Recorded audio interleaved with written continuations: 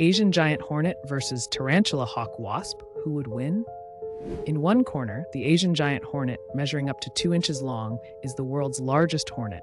Its powerful mandibles can decapitate prey, and its venom contains cytotoxins capable of dissolving tissue and causing excruciating pain. Its armored exoskeleton offers protection, and its aggressive swarming behavior devastates entire bee colonies.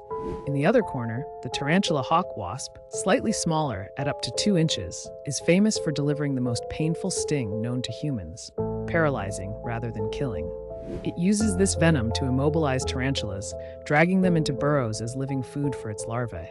The wasp relies on agility, speed, and a precise sting to subdue much larger prey.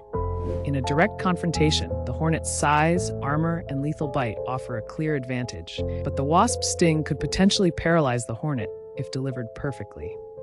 Ultimately, the Asian giant hornet's brute force, defensive toughness, and killing intent would overpower the tarantula hawk, making the hornet the likely victor in this venomous battle.